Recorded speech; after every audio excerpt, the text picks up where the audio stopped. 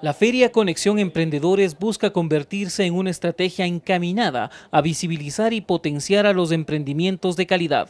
Este evento se realizó en la ciudad de Guayaquil, impulsado por la Coordinación Zonal 5 del Ministerio de Industrias y Productividad. Nosotros encontramos que existe muchísimo emprendimiento de distintos índoles, distintos productos, totalmente multisectorial y que sabemos que existe la oportunidad de escalarlo, darles un apoyo necesario para que alcancen mayor sostenibilidad. En esta feria participaron 60 MIPIMES y emprendedores que expusieron sus productos al público y además tuvieron la oportunidad de participar en ruedas de negocios con las principales cadenas comerciales del Ecuador. Bueno, estamos hablando de emprendimientos de pequeña escala, es decir, eh, micro medianos empresarios. Por lo tanto, la, proyección de ventas de la feria hemos calculado o estimado cerca de 150 mil dólares.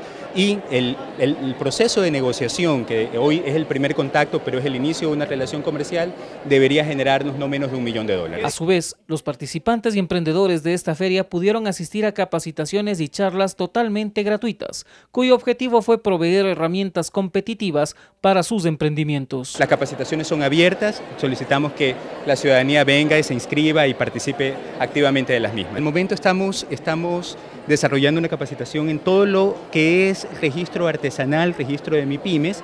Posterior a esto habrán también tips de fotografía para emprendedores.